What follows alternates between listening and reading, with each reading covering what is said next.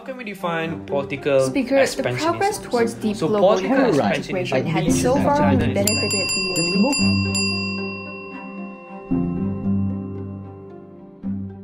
Hello everyone, welcome to the Beyond 7 Minutes podcast. Our special guest today, which is the YB Senator Ras Adiba Radzi, the OKU Senator to the Dewan Rakyat. My name is Adura and I will be your host for today. So a bit of introduction. The YB Senator Ras Adiba is a well-respected figure in, the, in, the, in Malaysian broadcasting and a top Malaysian para-athlete. He is the co-founder and president of OKU Sentral, which aims to empower, educate, and inspire disabled persons.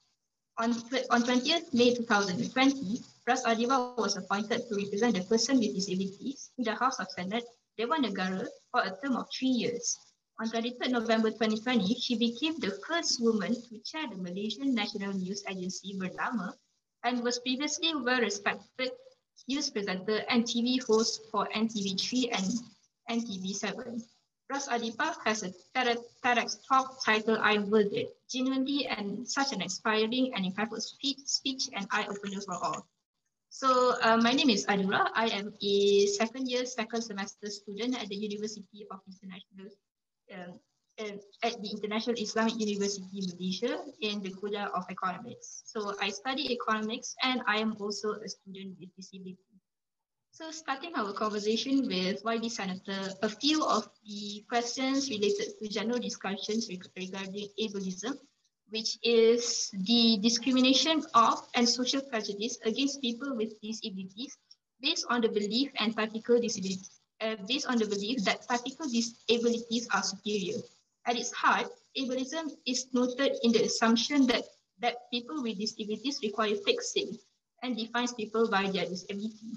So uh, in short, ableism is fundamentally about contempt, not hate or indiffer uh, indifference. It includes harmful stereotypes, misconceptions, and generalizations. So we can say that it is the best interest, it is our best interest to challenge and eradicate ableism. So my first question to you, uh, Madam Senator, um, do you think the perception towards ableism in Malaysia is an internalized issue or an institutional issue or, uh, or a little bit of both? So is it related to social, cultural, or, or is it a bit more of an institu uh, structural issue which is more institutionalized? So can you answer that for us? Yeah, Assalamualaikum Madura. Thanks everyone for inviting me. Um, ableism, especially towards persons with disability, um, is an is a worldwide problem. Uh, I think it boils down to people's attitude on how um, they perceive persons with disabilities. Mostly they do not understand us. Here in Malaysia, under the Welfare Department or Jabatan Kebajikan Masyarakat, we have um, seven categories and uh, now um, a bigger category, which is the rare disease. So um, understanding is very important in order for us to stop people's, uh, you know, negative thinking towards us. Um, able body doesn't understand the needs of persons with disability you can't blame them because uh, they were not exposed to it. They were not taught about it in school.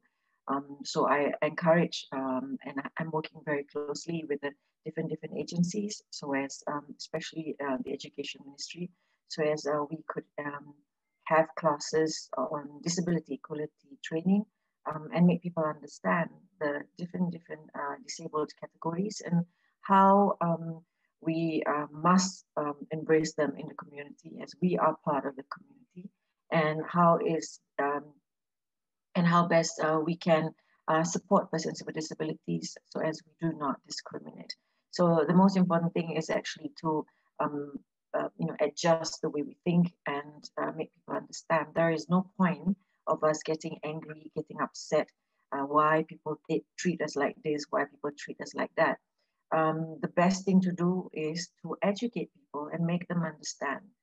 Uh, usually it's because they don't understand. That's why they feel, um, you know, they have the right to make comments towards us. They have the right to think as such towards us and look down. Uh, we are part of the society. We are part of the world's population. Under WHO and the United Nations, 15% of a country's population is actually the disabled, which means that in Malaysia, that's about 4.7 million. I give you an example. Right now, we are talking. You do not have a sign language interpreter. So that's discrimination in itself. Because we feel that there is no need. We don't realize that there are a lot of people out there, close to 50,000 people out there in the country um, uh, who needs assistance with sign language interpreters or having closed caption. So yeah, this is a learning process for everybody, uh, especially for um, um, people who is doing web interviews, so that when you invite and talk about somebody uh, or a subject on disability, please make sure that you have a sign language interpreter. Otherwise, there's no point for us talking because we are already discriminating people. Thank you, Madam Senator. I totally agree with you on the need for, especially um, on the on the increasing and the increasing bigger categories for for persons with disabilities, which includes uh, those with rare diseases or invisible disabilities because um, we have we always have that stereotype where people persons with disabilities need to have a certain support in just like a walking cane or a, or a wheelchair or a, a white a white cane and everything in which that I myself have faced, that sort of discrimination. Like whenever I am not using my my cane people would be like oh you don't okay so it's very in in a sense half paralyzed and I'm still very much um, in I'm still very much disabled, but just because I'm not using any support, am I less disabled than I was before? So, so and also another thing about uh, having more um, more uh, say, uh, more intermediaries um, to to make sure that that our society is more inclusive, such as so. Um, but uh, but Madam Senator, I would I would like to ask more in terms of the the categories for rare diseases and and invisible illnesses. How do um, how do the Ministry of Health or JKM uh, actually categorize those people who have rare diseases or or invisible illnesses into such uh, into those categories to make sure that they that they get that they get the best care that they need because right now at the moment we see that even even Jabatan Kebajikan Malaysia's registration is very hard to get for the OKU card itself. Thank you for your question. Um, okay, to register under the Welfare Department or Jabatan Kebajikan Masyarakat at the moment, it is uh, a, a slight tough at the moment because uh, not everybody's back to work and everybody's rotating. So I ask all friends out there who are registering uh, with the Welfare Ministry to um, be um, a bit patient. Um, by 2021, inshallah, everything will be back again, um, meaning it's easier to register. Um, that's one. Second thing is your question about persons with disability under the rare disease uh, category. There are 7,000 different, 7,000 different uh, rare diseases in the world. So um, a lot of countries, um, most countries actually do not know of the many, many categories because there's just a lot. So I always tell people just because you don't see it, it doesn't mean that it isn't there. Sungguh pun kita tidak nampak, tidak semestinya ia tiada. So um, um, at the moment uh, for the rare diseases, um, they also um, have categories which is pelbagai. And then uh, for the ones who have difficulties in moving, then we would put it under physical. Uh, the ones who uh, uh, have uh, hearing or deaf impairment, deaf and blind, and sometimes they are deaf and blind at the same time. That one we put under pelbagai. Um, I have to be very, very honest with you. Um, I do not want to speak on behalf of the health ministry, but I can um, tell you right now that um, even the welfare uh, department is having um, a, a, lot of, um, is working very closely with the medical fraternity to understand a lot more of the 7,000 different diseases. Uh, it's a lot, but I ask all my friends, uh, Persatuan Penyakit Jarang Jumpa, I ask them not to give up, um, to keep on highlighting and um, educating the mass. Um, like I said, even uh, people who are medical practitioners um, are still learning because uh, the, the reason that they're not able to um, pinpoint exactly uh, which category are these rare diseases is because, also because um, most of my friends out there are not coming out. So I encourage parents to bring out the children with rare diseases um, in the open so as we can educate people more. Um, their needs are different and um, some of them needs to go to hospital and take injections which cost a million or two million in a year and the government is supporting um, but you know um, a lot more needs to be done And um, the only way for us to do that is first, if we register ourselves with the welfare ministry. Right now, our registration is about 590,000 uh, OKUs uh, as compared to the, the um, you know, the, the um, uh, number that uh, is supposed, that we are supposed to have in the country, which is 4.7. 4.7 million. The one that's registered is 590,000. So we have a long way to go. So JKM, uh, the welfare department, is doing their very best to go down to um, you know to, to, to, the people, especially in rural areas, to make sure that uh, we have our friends who are disabled uh, come out and register. If only then we would know how much, uh, how many, how, how much is needed for us to support them, and how many of them out there uh, with different different categories with special needs. So I encourage all our friends out there to come out. And I apologize on behalf of the Welfare Ministry uh, for not um, being able to register them as fast as they can, as fast as they would, uh, because of the current situation that's uh, the pandemic that's hitting our whole country. So um, be patient, but we're, we're getting there. Thank you for your comments, Madam Senator. Um, just a note to the viewers um, regarding invisible illnesses and rare diseases one of my friends who had uh, who had them was told uh, was told by the doctors and medical practitioners that she has been lying when when she asked to get diagnosed. So it, it's a it's a very challenging thing for for Malaysians especially to get diagnosed for rare diseases and uh, for rare diseases and invisible uh, and invisible illnesses right now. So, uh, Madam Senators, uh, Madam Senator's work has been uh, a very commend, uh, very commendable in terms of making this work out and and and to and to and to disregard the the stereotype that has been going on um, for, for the last for the last century on this on this issue. So as we move on to uh, moving on to the next to the next question on on education. So according to news sources, um, you have um, they, they've been saying that you have plans of introducing sign language as a third language to students as young as those in nursery school and even to those in uh, tertiary institutions as we have also in in the university so what what are your aims behind this initiative okay well um, I have a, a, a stepsister who's deaf, so I grew up with someone who's not able to hear and who have been in very, very frustrating situations. Um, not just at home, because you know there are some science that we don't really understand, but more of uh, outside. So there's a lot of discrimination towards persons who are deaf, uh, hearing impaired. So um, I suggested this because we um, sign language is another way for us to speak. You know, moving um, uh, moving our hands, um, eh, gestures, um, you know, to, to, to make sure that we can communicate so that there is no space, there is no uh, tiada jurang. So for me, it's very, very important that we push sign language as a third language um, because once you start teaching children from um, primary, secondary, and universities, um, as they grow up, they realize that you know there's some of uh, others, there's some others who um, they can communicate with. So, you know, because we need to teach children um, about not discriminating uh, persons with disabilities, OKUs. So once they are able to communicate, then it's easier. You know, the, the world will be um, a much friendlier place to live in because we can communicate.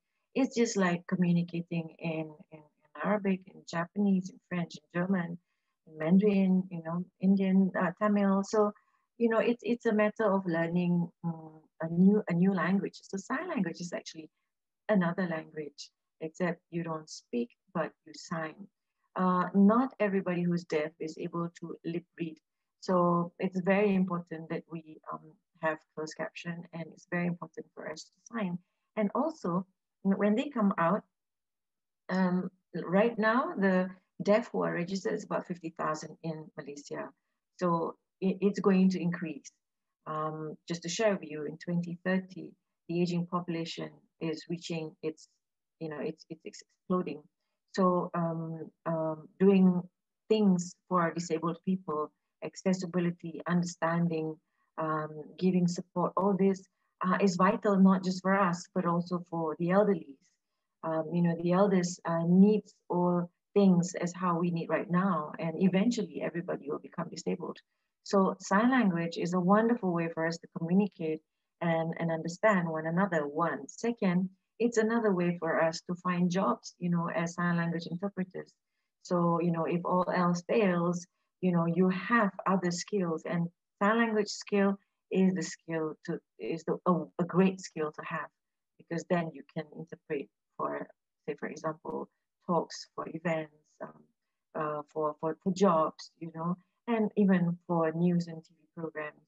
So it's very, very important. Um, I, I, I will push, I'll keep on pushing for this because I do not want us to um, get complaints from people who are deaf that they're not able to understand. It's 2021 and everything is using the technology is, is amazing.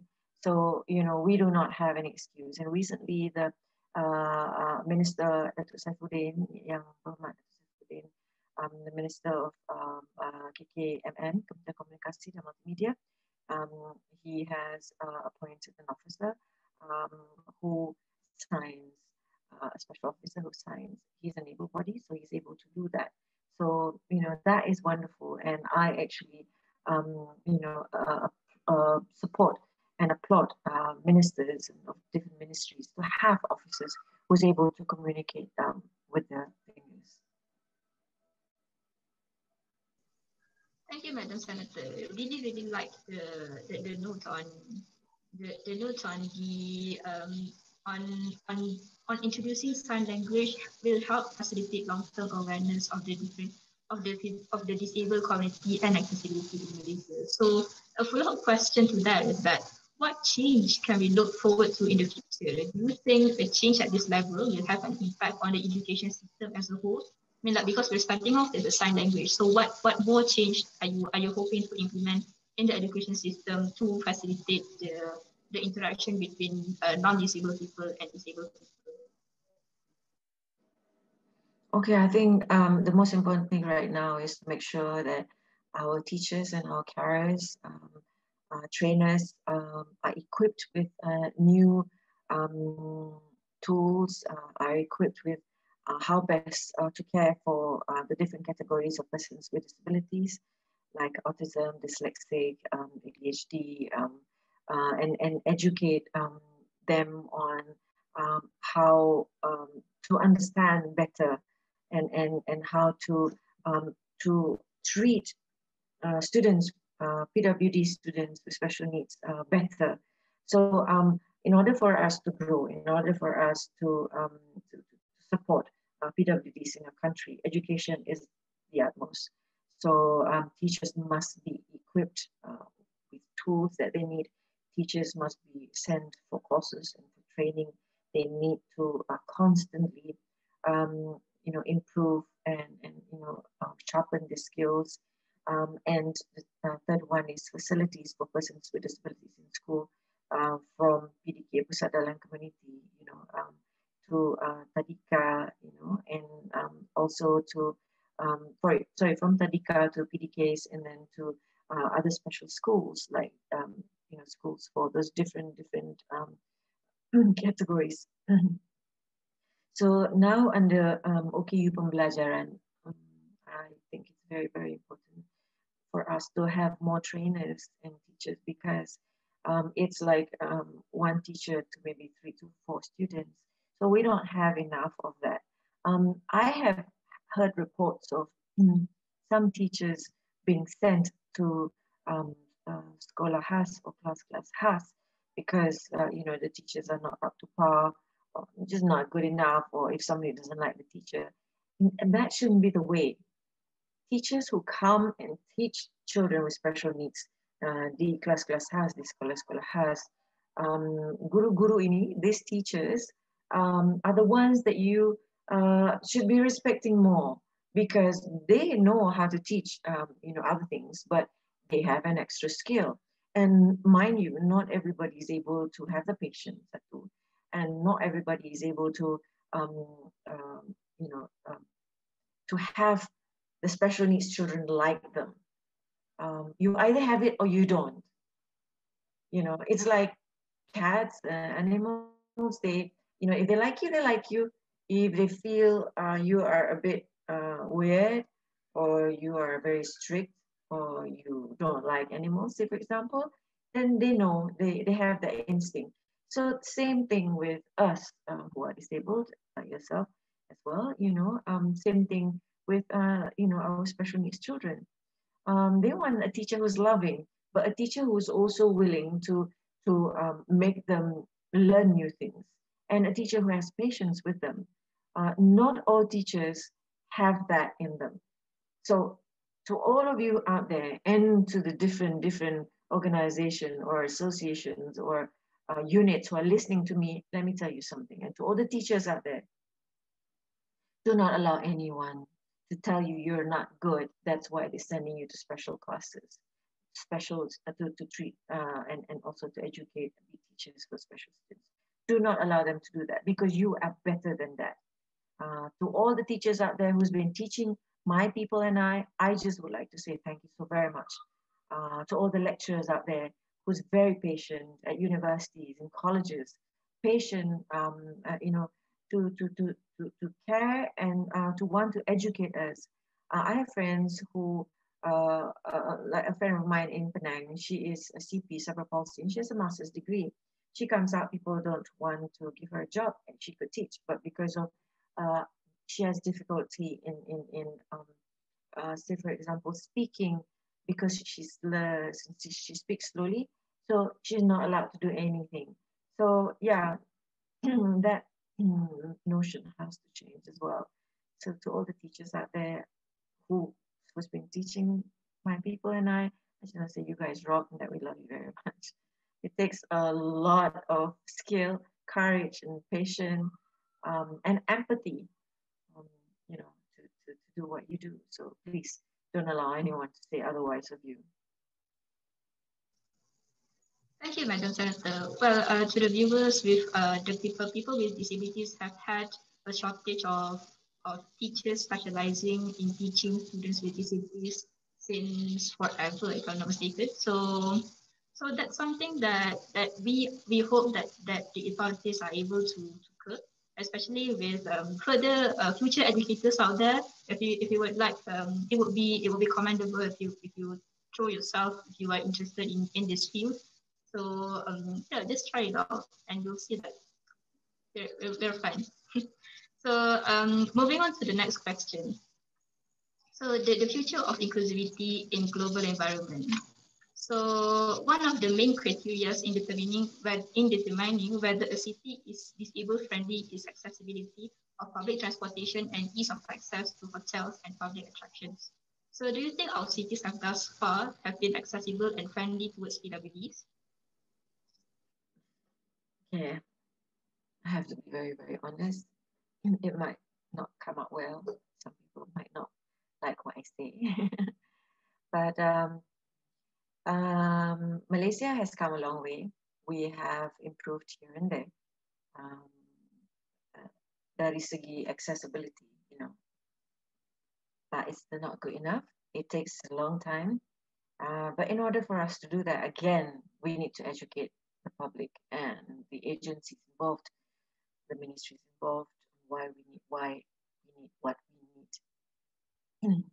and uh, KPKT uh, Kementerian Perumahan Kerajaan Tempatan, um, even um, uh, and, and also the PBT, uh, they, they, they need to work harder, faster, uh, because if we are going to receive the, um, um, the influx of, of, of um, an aging population in 2030, um, if we, if, you know, if, if we, we're not doing uh, a lot of things right now to improve the facilities, the accessibility uh, for PWDs. Um, then in 2030, a lot of people suffer. So I am working, um, you know, constantly uh, lobbying and um, creating awareness on, on why we need what we need. I give an example. There's some ramps which are very steep. You go on them, uh, you can't push yourself up and you can't even come down because if you go down the ramp, it's like a slope. It's like Kilimanjaro, you fall, you die. So little things like that, you know, people need to follow the specs. So uh, um, Standard Malaysia, um, they have worked very, very closely, um, you know, with uh, building owners. Uh, but again, there is no penguatkuasaan. So what, when there is uh, no ruling, when there is no uh, saying, you know, when there is no act that says that you know you should be doing this, um, you know, uh, when people just approve buildings without checking whether there are accessible facilities, when people take things lightly um, towards uh, basic uh, infras, then we uh, will not be able to reach an accessible um, country, or at least um, a half accessible country by 2030. So um, right now, um, to your question, no, Malaysia is um, um, slowly but surely, Malaysia is improving the facilities and the infra, uh, but we, like so many other countries, uh, we actually need to work very fast and we need to make sure that we implement rules um, you know, to and and and uh, summon people and even bring them to court if they do not follow the regulations. Uh, you tell them if you want to build this and build that, you must have certain certain amount of OKU parkings. You must have um, um, you know washrooms which are uh, accessible on every at every floors. You know you must have uh, ramps. You must have um, two-way communication for the deaf in the lift. You must have communication so that the blind can hear in the lift. You must have tactiles. You must make sure that the signages that you do, that you make is not too much information, not uh, cluttered. It has to have a picture, some information, a picture or a two picture or a three or four picture with few information. Do not crowd this information because if you see some of the posters that uh, that's out there is just too much information. My friends who are OKU pembelajaran, um, you know, um, they have a problem to comprehend. So to your question, Malaysia is improving. I have to say that because I do go out and do um, you know accessible audits, and uh, even with people from IIUM, you know, uh, we go out, we go around the country with this different municipalities like uh, the uh, PJ, MBSJ, um, uh, you know, KL City Center, DBKL.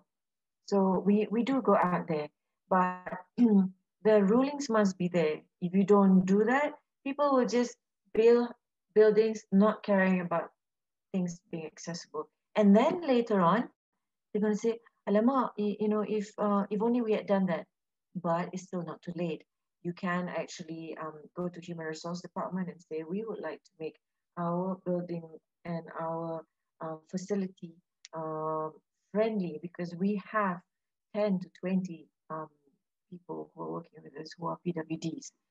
Um, the, you know, the Kementerian Sumber Manusia, the Human Resource Department, they have a budget for that. So you consult them, companies can consult them so that, you know, they will, um, you know, um, help absorb the cost. But it's not going to cost anything if you plant it, um, you know, percent. So building owners out there, if you want to build something nice, just don't build something nice. Build something that's nice and also accessible. Because then people can come to your place, people can shop, people can, can work there. Thank you, Madam Senator. I really like your note on the aging population. As, as we know, uh, by 2030, almost more than half of the population will be uh, will be at the age of retirement and and such. So it's it's it's inevitable that that people will become disabled as they get older. And providing uh, providing inclusivity for disabled people means providing an insurance for yourself as you get older as well. So uh, some um, a follow-up question, a follow-up question on on your notes on on your notes on the bylaws. So I would say that um, in Malaysia, we do have bylaws and also the OKU Act 2008, um, 2008 enforcing, um, uh, probably not enforcing, but saying all of these things regarding uh, regarding inclusivity, discrimination, and all of this. but um, like as you said, we do not see a lot of enforcement on it. So in, in the current government, are there any steps towards uh, towards um, revamping the act itself? Like for example, um, either it is the Act 2008 or the bylaws uh, in Semenanjung, post Semenanjung and Sabah and Sarawak, or um, and whether they uh, um, uh, to include enforcements in terms of all of these things. Okay, I need to tell you that um, there are a lot of NGOs, there are a lot of agencies who's working very closely um, to to make sure that uh, bylaws, uh, you know, are are are done up. Uh, but in order for all that to happen, um, we have to make sure uh, that the OKU Act 2008 is spruced up. The OKU Act 2008 needs to be sharpened and needs to be um, as you mentioned, um, uh, because it, it doesn't that, people don't care. So, uh, and then um, it's very important that we uh, bring this up in Parliament, Dewan Negara as well, um, so as we um, make sure that there is a DASA um, which um, you know looks into um, um, reprimanding people who um, first don't um, you know, build things which are accessible. You know, give them a huge penalty or a fine, summon them. You know, uh, put the names you know out so that people know and they learn, so that next time they will not do it again. They don't build things as, as they please. Second is uh, for us to um, work closely um, from KPKT and also um, the uh, PBT, the municipalities. Um, they need to work together with the OKU. Let me tell you something. People do a lot of things, not just here, but everywhere around the world. They do things, they make decisions without asking us. And that's wrong. You want to do something for persons with disabilities, you need to have them in your council. You need to have them in your ministry. They need to advise you because only then you know what they actually need. You do not assume. So when people assume, um, things if get done, it's not done properly. Um, so if people are going to be wanting to make changes, they would really have to uh, make sure um, that um, you know um, they have a disabled person in the meeting, in the decision making, and then only then they know that they have to um, you know uh, improve uh, the akta. Only then they know um, that um, you know this needs to be done, what needs to be in the policy. So if they don't know, they cannot do it. So uh, like I said, I'm lobbying very hard with different different government agencies and um, um, you know the, the units or departments uh, that is uh, related or has something or they want to do something for persons with disability. I'm lobbying and working very hard for them to make them understand you want to do something for me and my people, you call us. You don't do it on your own. It doesn't work that way. So, so it's very short Yes, very masuk lift tekan sendiri, masuk bakul angkat sendiri. You can't because uh, it's just not right. You you need to have someone who is disabled right there tell you, uh, if you want to do this, if you want to do that, this needs to be done. And then they ask you why, and then you explain. So if you if do if you if you want to do a policy and you want to work on on on act, and you don't have us be part of it, you do it just because you want to do it. Uh, that's not right because now, to you, it's okay. But in 10 years' time, it's not okay. Because what you did is because you want to do it, because you think you're smart enough. Maybe smart, but you don't know what it feels like to be disabled, and you don't know the needs of the disabled. So I appreciate um, doctors, uh, nurses, medical practitioners um, I appreciate people who have been working very hard and studying, um, you know, um, and, and to, to, to, assist us and to empower us.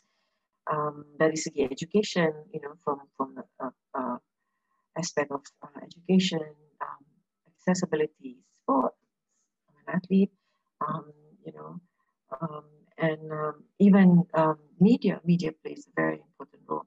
So all this can only happen if everybody work together and not not just in silo. Thank you, Madam Senator. So basically, to our viewers, don't treat us like welfare, empower us instead. So, yeah. um, so in Malaysia, uh, especially in the government sectors, we have the 1% quota for persons with disabilities. But we have seen that only about three ministries have fulfilled that quota. Um, considering your position as a senator, what seems to be the barrier in fulfilling this government objective? Okay, um, I have for the last um, few months and of late when um, I started my session in the, uh, the uh, in the upper house in Parliament, uh, whenever I see a minister or deputy minister, I was just say, can you please stop for a while? Um, was, is, is, it okay for us to chat for a while? And they go, okay. And I said, listen, I need your help. Um, would it be possible for you to consider to uh, open more job opportunities for us and then they said, oh, but we do have some disabled people who's working with us. And I said, I have the numbers. You don't have enough. You're not 1% at all. You know, so um, right now, I, I, I, again, in order for you to, in order for you to, um, you know, to want to see this 1%, you need to make people understand and educate um, that, you know, each of us who are disabled have our uh, different different abilities. Uh, kita bukan kelainan upaya, kita kurang upaya, kuat usaha, but not kelainan. Kelainan not Superman. That, yeah, uh, kelainan means that you know I'm an alien, you know, so I'm not an alien. I'm a human being.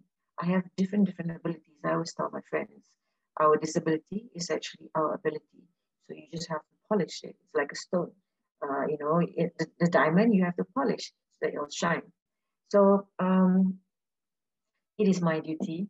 It is my duty as uh, uh, someone who is representing our community um, to constantly uh, lobby, constantly educate, and constantly um, push um, our friends to the forefront. Um, but in order for people to give us jobs, one, perception of the people who's interviewing us, the agencies who's interviewing us has to change the form. Once we say it's okay, you, we don't get the job. So much so that some of our friends don't even put OKU because they know that they'll be rejected. So point of the matter is attitude, um, disability equality training, disability related training is very important so that people understand that each of us have different different capabilities. You know, you don't put this person with this disability uh, say for example, you don't put somebody who's got physical disability uh, like us um, uh, to do, you know, uh, climb and put boxes up in, in, in, the cupboard. It's like, you know, um, window to, you know, why would you want to do that?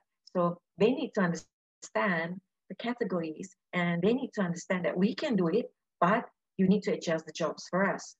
But again, like I said, first, borang to the form please don't discriminate us when we're trying to find this job just because we say we're okay you and you don't give us a job second attitude is very important for people who are interviewing us and for the agencies uh, to, to, to uh, when they are having OKUs come for interview, they need to know how to speak to us, how to assist us, and and bring out the best in us. Okay. Three, the place has to be accessible. If it's not, how can we work there? You know. Four, do not discriminate us. All of the people out there will become disabled someday. They forget that. Everybody will become disabled someday. It could be tomorrow, the day after, or in, in, in years to come. So I tell them to have an open heart, open mind, open heart because you really don't know um, what um, the skills are, you know, for, for the people who's going to come and interview. So yeah, you, Madam Senator. So this will probably my last question um, to wrap up. Uh, in conclusion, you do have a voice in Parliament and you have the capacity to, to enact change. So what are your upcoming goals to increase accessibility and for ensuring the inclusivity of the disabled community in Malaysia? That's, that's one question. And another question to, to follow on that is that what are your advice to budding, budding, uh, budding activists in the disability, in the disability sphere? Okay. My advice to people who want to go in uh, into supporting persons with disabilities and caring for persons with disabilities. For these NGOs, please don't do it because you want to make money, because that's already a bad start. Do it because you want to assist the best that you can. Do it because you want to empower persons with disability. Do it because you have a big heart and um, you want to make sure that uh, persons with disability is like everybody else. Uh, you know, you want to do programs for them, uh, you, you want to um, help um, brush their skills so that they can be on their own, uh, so that they can um, be independent. Uh, something very important here that I have to um, highlight is um, you need to have empathy if you want to be an NGO uh, supporting persons with disability. If you don't have that, it's point. Okay, and another thing is um, you must understand that um, when you speak to somebody who's got different different kinds of disability, you need to understand them, how best to speak to them. Say, for example, I'm in a wheelchair. When you're talking to me, please don't stand up. I have to look up to you, and that hurts my neck. So, you know, you just need to bend down or grab a chair and speak to me eye level. Because I'm four feet tall, just like a child. Okay. So, yeah, we need to understand uh, PWDs before we embark into wanting to support them. That's your first, your second question. Your first question is, what are some of the things that I will be doing, I want to do, but I aspire to in Parliament? A lot. You cannot even begin to imagine. I mean, I sleep at 2, 3 in the morning. I start my day as early 7.30 for my meetings sometimes. Um, I I'm looking after 4.7 million of my friends. I have a big responsibility. Um, I can't sleep at night because I know some of us don't have food to eat. And I also um, bring it upon myself to make sure that none of my friends are left behind. So with the zero reject policy in, in universities, um, I encourage this also, you know, from, from, from school, not discriminate us. Um, I encourage um, um, and I applaud uh, persons with disabilities and also universities um, for giving spaces and not um, looking down on us, giving us the opportunity to learn, you know, and, and be better you know, than, than we already are. Um, that's on education. Second is on accessibility. I'll be working very closely with um, the uh, different different um, agencies and also NGOs, you know, to make sure that we can improve our accessibility in the country. Third, disabled tourism is very big. Um, if um, and when our country is, you know, um, improving on accessibility, we can get more and more people with disability coming to travel into our country. So that's that's um, um, you know that's it's a, that's a boost for, for the country's economy via um, tourism. And then fourth is I want to make sure that um, you know uh, my friends are are able to work not just in you know the government, but also in NGOs and also in you know GLCs, also in private companies, because uh, we work very hard. We work three times, 300 times more uh, than than able-bodied people. So yeah, um, I, I, I really would like to see that you know um, we we we are there and we are able to work and, and earn a living and help um, you know generate the country's economy. And the next thing is um, um, I would like to see more disabled people um, in the forefront, uh, not just as frontliners, but also, um, you know, in, in big organizations for them to be on the board so that, uh, you know, we, we also see their ability as in, you know, you know, maybe the skill that they have or um, their, their, their ability to, to, to uh, have a fair out, be able to have a fair argument and to educate and improve things and conditions for persons with disability in whichever ministry or companies that they're in. So I have a lot of things to do. I have I want to build training centers to have more sign language interpreters. I I want to I would like to uh, build uh, more schools with uh, for children who are OKU belajar. And I have a son who's 13 he's autistic, he's got Asperger. So I want to make sure that parents have support.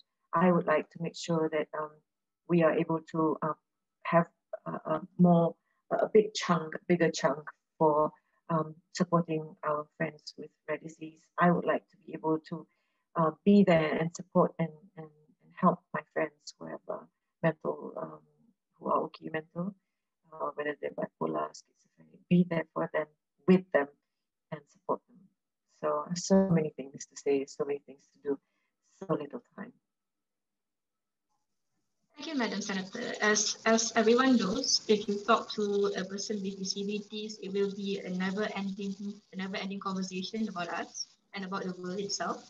So um, a little gift for every for our viewers out there, you will be disabled one day. If it's not now, will be tomorrow. If it's not tomorrow, it will be some other day the next. So by providing uh, by providing people with disabilities the accommodations that they need now, you are providing yourself in the future.